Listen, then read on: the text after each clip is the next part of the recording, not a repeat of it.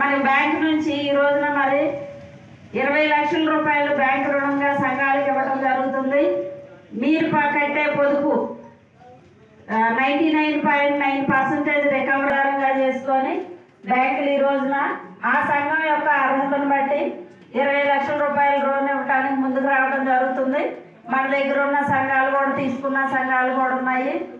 మరి అందులో భాగంగానే మన విధంగా ఈ ఆసరా కానివ్వండి మీరు చేసుకున్న వృత్తుల మీద పెట్టుబడిగా పెట్టుకొని జరుగుతుంది.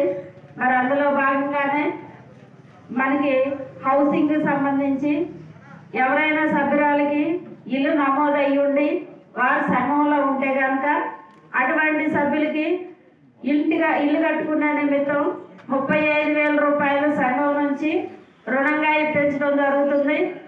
ఆ రుణం కూడాను మీరు బ్యాంక్ నిర్ణయించిన వాయిదాల ప్రకారం చెల్లించుకోవాల్సిన అవసరం ఉంది.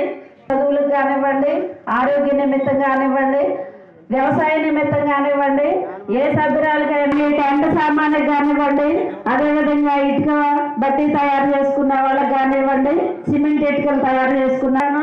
రుణం అనేది ఇప్పించడం జరుగుతుందని తెలియజేసుకుంటున్నాను. మరి మనకి మనందరికీ తెలుసు